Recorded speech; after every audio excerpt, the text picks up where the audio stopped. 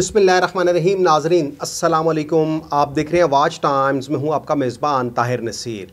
नाजरीन, आज मैं एक और स्टोरी आपकी खिदमत में पेश करूँगा कि मुस्तबिल के मेमार बनाए जाते हैं, स्कूलों में ज़र तालीम होते हैं कॉलेज़ में होते हैं, यूनिवर्सिटीज़ में होते हैं। लेकिन आज कल आपको मालूम है कि पूरे मुल्क में ये एक बिज़नेस बन गया है। तालीम अब एक बिज़नेस बन गया है। हर किसी की कोई मेकनिज़म नहीं है, कोई ऐसा इदारा नहीं है कि कहीं पे बैठकर एक मैकनिज़म बनाया जाए कि कितनी फ़ी ली जाएगी। हर स्कूल ने अपनी एक दुकान खोली हुई है।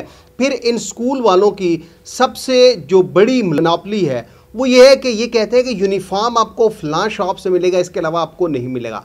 आपने बुक शॉप्स लेनी है तो फ़लाँ दुकान से मिलेंगे, इसके अलावा नहीं मिलेंगी। लेकिन ये तालीमी दरसगाहें अब आहिस्ता आहिस्ता मकतल गाहें बन चुकी हैं और एक अफसोसनाक वाक़ शहर इकतदार क्या एक नवाई कस्बा है, बाराका, वहाँ पे D M school and college के अंदर पेश आया और हॉस्टल के अंदर, जाहरी बात है माँ बाप की ये ख्वाहिश होती है कि उनका बच्चा पढ़ लिख कर बड़ा आदमी बने, वो क्वालिफाइड हो। लेकिन यहाँ पे आजकल जिस तरह के स्कूल यूनिवर्सिटीज़ कॉलेज़ में जो कुछ चल रहा है, वो आपके सामने है। ए एन एफ़ रोज़ाना की बुनियाद पर, तालीमी दरसगाहों पर छापे मार रही है, वहाँ पे गेट से मंशियात बरामद की जा रही है, आइस बरामद की जा रही है एक्यूज़ अरेस्ट हो रहे हैं। लेकिन अब आहिस्ता आहिस्ता हमारी नौजवान नस्ल तबाही के दहाने पर पहुँच चुकी है।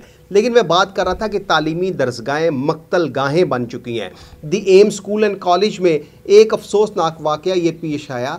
प्री नाइन्थ का एक तालब इलम था, जो यहाँ पे हॉस्टल पे रह रहा था और उसके पेट में दर्द उठा। और ज़ाहरी पता है, जब हॉस्टल में आप रह रहे हो तो वहाँ पे एक इंचार्ज होता है, एक डिस्पेंसर भी होता है, फिर इसके साथ साथ हॉस्टल वार्डन भी होता है। लेकिन अब यहाँ पे एक सवाल जो सबसे बड़ा पैदा होता है कि जो the M school and college का डिस्पेंसर था, क्या वो क्वालिफाइड था? क्या उस डिस्पेंसर ने कोई डिप्लोमा किया हुआ था? फिर the M school and college की जो एग्जेक्टिव कोऑर्डिनेटर हैं साइमा रिजवी साहिबा, उनसे मैंने बात की, उन्होंने अपने मौक़ से भी आगाह किया। वो मौक़ भी मैं प्रोग्राम में आगे चलाऊँगा। और सुन लीजिएगा कि ज़ाहरी पता है अपने डिफेंस में हर इंसान ये कहता है कि मैं अच्छा हूँ, दूसरे बुरे हैं। उन्होंने भी अपने डिफेंस में बहुत कुछ कहा। उन्होंने कहा, जी, हम एविडेंस के साथ बात करेंगे। लेकिन ये जो मासूम प्री नाइन्थ का तालब जो अपनी जान गुआ बैठा है, जिसको हॉस्पिटल ना पहुँचाए जाने की वजह से हॉस्पिटल जाने की इजाज़त ना देने की वजह से उसकी डेथ हो गई है। मोहम्मद मेहदी इसका नाम है और इसके वरसा ने थाना बराकाऊ में दरख्वास्त भी दी है। लेकिन ज़ाहरी बात है, वो पैसा फेंक तमाशा देख वाली बात है।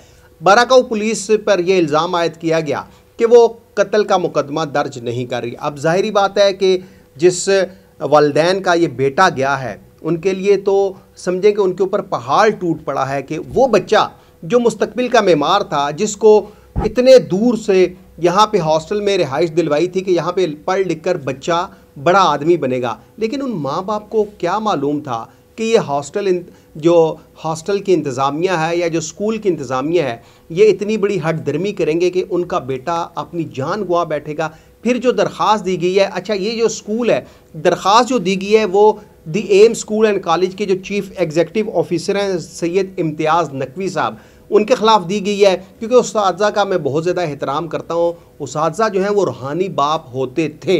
लेकिन आजकल के दौर में जिस तरह के स्कैंडल सामने आ रहे हैं कि उस्ताद ने एक तालब इलम से शादी कर ली, ठीक है, उस्ताद को तालबा पसंद आ गई, उसके साथ शादी होगी तालब इलम को एक उस्तानी पसंद आ गई, उसने शादी कर ली। ये ज़ुबान से दयाम है तायर नसीर अपने पास से नहीं कह रहा। आप देख लें कि आपके इर्द गिर्द ये सब कुछ हो रहा है और ये रियलिटी है। रियलिटी को जुटलाया नहीं जा सकता। और आपको मालूम है कि उस्ताद रूहानी बाप होते थे कब? पुराने वक्तों में कि जब उस्ताद थे। आजकल उस्ताद और उस्तानियाँ, बच्चे और बच्चियाँ क्या कर रहे हैं, वो आपके सामने है। अच्छा ये सैयद इम्तियाज़ नकवी साहब के ख़िलाफ़ फिर इंचार्ज हॉस्टल हैं, सैयद असद नकवी साहब। फिर हॉस्टल वार्डन है हबीब और फिर एक डिस्पेंसर है ख्वाजा मरीद।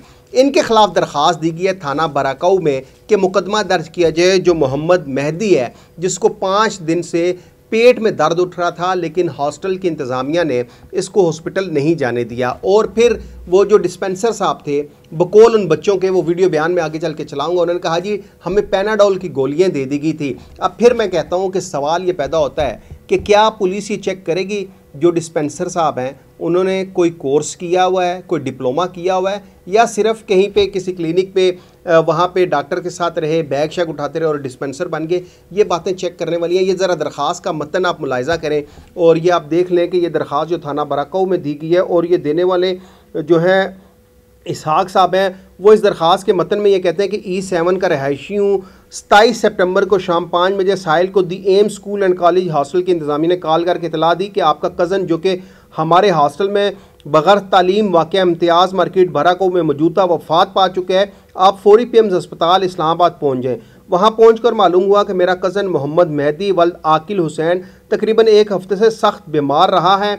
मुझे मेरे कज़न के रूम मेट सैयद मोहम्मद और बिस्मिल मुस्तफ़ा ने बताया कि हॉस्टल इंचार्ज सैद असद नकवी, मुसम्मी हबीब हॉस्टल वार्डन से दरख्वास्त की कि मोहम्मद मेहदी वल आकिल की तबीयत इंतहाई नासाज है। फौरी इलाज मालजे की ज़रूरत है, जिस पर सैयद असद नकवी और मुसम्मी हबीब ने कहा कि ये ड्रामेबाजी कर रहे हैं और इसको कमरे में बंद रखें।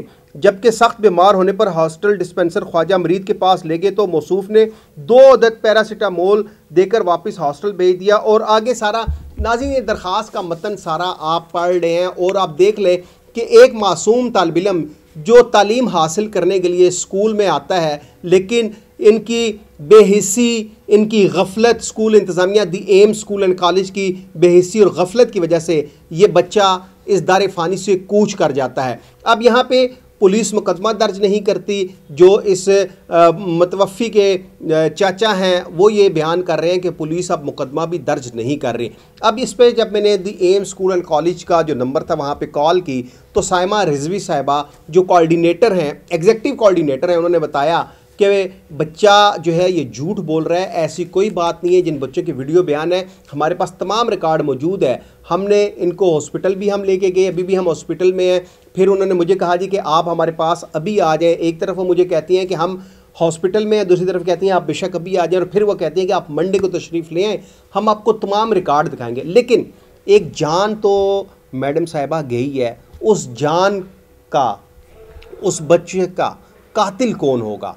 क्या आप अगर उस बच्चे को जिस तरह वो बच्चे जिन्होंने वीडियो बयान दिया है वो वीडियो बयान बहुत अहम है नाजरीन। अब वो बताया जा रहा है जी जो साइमा रिजवी साहिबा हैं उन्होंने कहा जी कि बच्चे दबाव में आ गए थे इस वजह से उन्होंने ये बयान दिया है लेकिन वो बयान क्या है ज़रा ये सुने अच्छा आप मोहम्मद मेहदी के रूममेट हैं? हाँ अच्छा क्या हुआ था? कब से बीमार वो तो वैसे एक हफ़्ते से बीमार था लेकिन तीन दिन से बहुत शदीद बुआर था। उसको ख्वाजा के पास भी लेके गए लेकिन वो उसको ख्वाजा के पास लेके जाते हैं। वो बोलता था कि मुझे सिर्फ़ वो पेनाडोल गोली देता लेकिन उससे बस सिर्फ़ पेनाडोल ही देता था। वो हमारे पास आता था कि सिर्फ़ पेनाडोल से क्या होता है? हम्म। वो बोलता है कि मुझे कोई तबीयत में कुछ कमी नहीं हो रही है। हम्म। तो फिर वैसे एप्लीकेशन भी दी ख्वाजा के पास लेकिन उसने उस ख्वाजा कौन है? ये जो डॉक्टर। डॉक्टर है हॉस्टल हाँ, हॉस्टल का डॉक्टर। हॉस्टल का डॉक्टर। तो ख्वाजा के पास एप्लीकेशन लेके गया था लेकिन उसके बोला कि आप लोग बहाने बना रहे हो। ये वो है मेहदीना में ख़ुद बोला है। तो फिर उसने कहा डॉक्टर ने जो हॉस्टल का है कि हाँ, आप बहाने बना रहे हो? आप बाहर हाँ, नहीं जा सकते हो? आप लोग स्कूल जाओ आप रेस्ट ना करो। ठीक है। हाँ। अच्छा। आज और आज फिर उससे रेस्ट दी लेकिन दवाई फिर भी नहीं दी। जिस वक्त वो आखिरी वक्त में जब उसकी डेथ हो रही थी तो हालत कैसी थी उनकी? उसकी बहुत ख़राब थी। ख्वाजा को बुलाया अच्छा। हमने ख्वाजा को भी बुलाया? ख्वाजा को बुलाया गया तो उसने कहा कि मैं अभी खाना खाता हूँ उसके बाद में आ रहा हूँ। जो डॉक्टर था? हाँ। और वो डॉक्टर था जिस टाइम उसके बहुत आ, मतलब डेथ से पहले। हालत खराब थी। हाँ वो खाना खा रहा था। मैं हमने बहुत किया। जब वो आ गया हम बच्चों को हटा के स्टूडियो में लाए थे तो वो उसके बाद आ गया उसके बाद आके उसने बोले कि इसको हॉस्पिटल जब हमने डेथ सर जो पीटी है ना उसको भी हमने बोला था रास्ते में उसकी डेथ हो गई? नहीं उसी एम्स एम्स के अंदर। हॉस्टल में। हॉस्टल के अंदर ही? उसके नर्व चेक करे थे तो मीन इतना वो नहीं। अब वो जो रहमत है ना उसने उसी टाइम बोल दिया कि आप तीनों रूममेट हैं हाँ हम तीनों आप भी रूममेट हैं। आपका ताल्लुक कहाँ से? और गुजई और इसका बड़े चिनार इसका भी और गुजई आपका और गुजई अच्छा अच्छा। आपका नाम? सैयद मोहम्मद। आपका? मुस्तफ़ा। मुस्तफ़ा। आपका? बिस्मिल्लाह आप तीनों प्री नाइन्थ में थे? हाँ प्री नाइन्थ हम चारों सारे एक मतलब आप ये समझते हैं कि ये जो हॉस्टल के जो डॉक्टर है हाँ। वो उसकी गलत की वजह हाँ, वो ये पूरी जितने भी है ना मिन सारी मिन असल तो गलती असद की भी है क्योंकि जब तक वो लोग साइन नहीं कर देते बाहर कोई छोड़ते नहीं तो इसमें से उन लोगों की भी गलती है और ख्वाजा की गलती है क्योंकि उसे बाहर भी नहीं ले गए। जाने नहीं दिया उसको। नहीं ठीक जी नाजरीन ये आपने बच्चों का बयान भी सुना। अब देखते हैं कि क्या Islamabad police the M school and college के chief executive officer Syed Imtiaz Rizvi जो हॉस्टल के इंचार्ज हैं, जो हॉस्टल के वार्डन हैं, जो डिस्पेंसर हैं, इनके ख़िलाफ़ कत्ल बिल ख़ता का मुकदमा बनता है। वो मुकदमा दर्ज करेंगे या कत्ल का मुकदमा दर्ज करेंगे या ये फ़ाइल भी सर्द खाने हो जाएगी, क्योंकि आप देख लें कि इन स्कूल्स वालों की भी अपनी एसोसिएशन है, इनकी एक अपनी अजरादारी है, इनकी एक अपनी दुनिया है। क्या साइमा रिजवी साहिबा वो सच बोल रही हैं या वो मासूम बच्चे जो मुस्तकबिल के मेमार हैं, जो यहाँ पे तालीम हासिल करने के लिए आए हैं वो सच बोल रहे हैं। अब होगा क्या? इन बच्चों के ऊपर दबाव डाला जाएगा। इनके वालदेन को बुलाया जाएगा कि आपके बच्चों को हम स्कूल से निकाल रहे हैं। अपना बयान बदलें और आइंदा दो चार दिनों में आप देखिएगा कि ये बच्चे अपना बयान बदल देंगे। लेकिन ये बात तो साबित हो चुकी। हॉस्टल के अंदर ही मौत वाक़ हो गई इस मौत का जिम्मेदार कौन है? अगले प्रोग्राम तक ले मेज़बान ताहिर नसीर को इजाज़त दीजिए। अल्लाह हाफिज़।